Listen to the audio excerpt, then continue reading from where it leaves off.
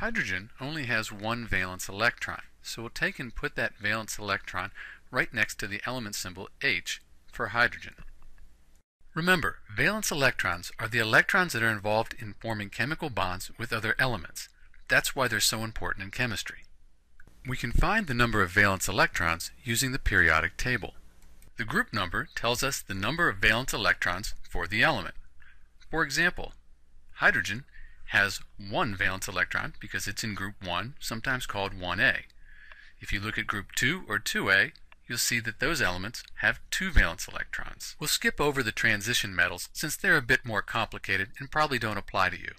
We'll go to 13 or 3a, which have three valence electrons, then 14 or 4a, each of those elements in group 14 or 4a have four valence electrons, all the way up to group 18 or 8A, which have 8 valence electrons.